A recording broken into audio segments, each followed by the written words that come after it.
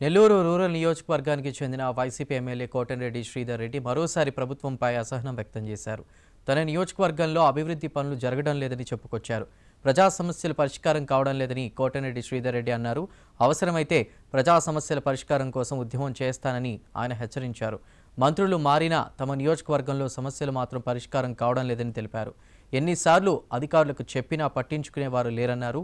ప్రజల సమస్యలను పరిష్కరించలేనప్పుడు ఎమ్మెల్యేగా ఎన్నికైంది ఎందుకని ఆయన ఆవేదన చెందారు.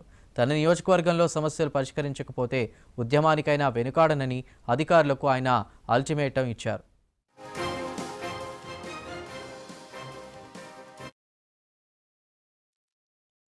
ఎలా సమాధానం చెప్పాలి? బాధ్యత ఎవరిది?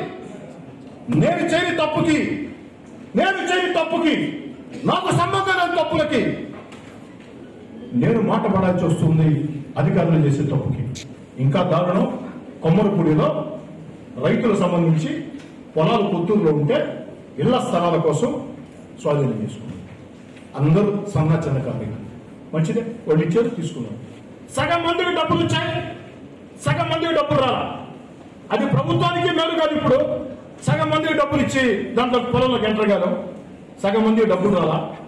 డబ్బులు రానోడు మా డబ్బులు సంగతి అడుగుతున్నారు దీని మీద ఈ జేసీ కూర్మనాథ్ గారి దగ్గర నుంచి గత జేసీ దాకా నేను అడుగుతూనే ఉన్నా వాళ్ళు మాట్లాడుతూనే ఉన్నారు పని మాత్రం కావట్లేదు ఎంతో చెప్తున్నారు. నేను అడుగుతున్నాను దీంట్లో ఓ శాసనసభ్యుడిగా నా పాత్ర కొంతే.